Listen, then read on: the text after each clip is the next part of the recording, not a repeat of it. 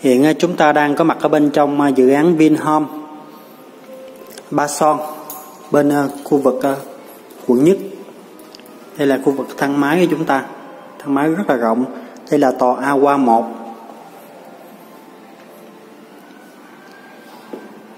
Thì hôm nay Khoa xin dẫn cho quý vị và các anh chị theo xem cái khu uh, office theo của cái tầng cao của tòa nhà Aqua 1 à, căn này là một phòng ngủ một nhà vệ sinh.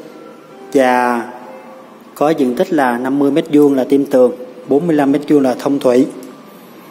Đây là cái căn của mình. Và cái khu Aqua là khu cao cấp và khóa là có khóa dân tay ở đây.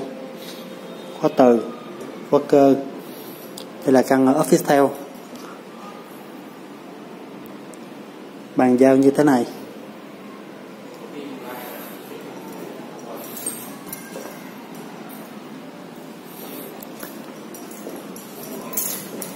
Căn hộ của chúng ta ở tầng cao và sẽ nhìn được phía bên dưới như thế này. Đây là cái view của dự án.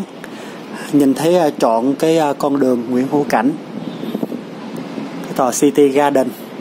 Và phía bên đây chúng ta sẽ thấy sông Sài Gòn. Về phía khu vực quận 2 phía bên kia là chúng ta thấy được cái dự án The River Thủ Thiêm đang xây và đang nhận booking. Đây là tầng uh, trung cao các anh chị nào hiện đang quan tâm về dự án ờ, khu vực ờ, Vinhome Ba Son, hay là muốn ký gửi cho thuê chuyển nhượng thì hãy liên hệ với mình qua số điện thoại là 0979 676655 để được tư vấn thêm. Giờ chúng ta đi ờ, vào bên trong xem phòng ngủ và nhà vệ sinh. Chúng ta có những trang thiết bị thông minh như thế này. Camera. Check được khu vực camera bên dưới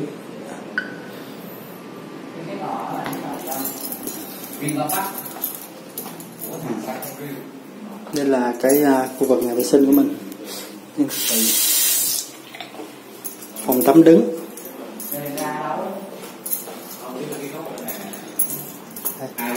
Đây là nhà phòng ngủ.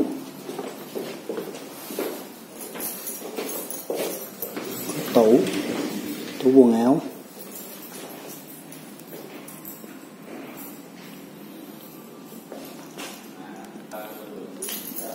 đây là cái view phòng ngủ của chúng ta sẽ thấy view trọn như thế này.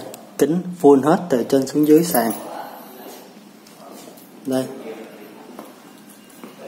Phòng ngủ view khá đẹp nha các anh chị. Đó